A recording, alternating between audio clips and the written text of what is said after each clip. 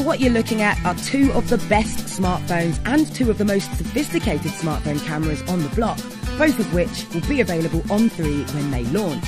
But why do you want this on 3? Chuck in Feel at Home for going online at no extra cost when you're abroad, and it will be hard to resist spamming your friends' timelines with your holiday snaps. But remember, please brag responsibly.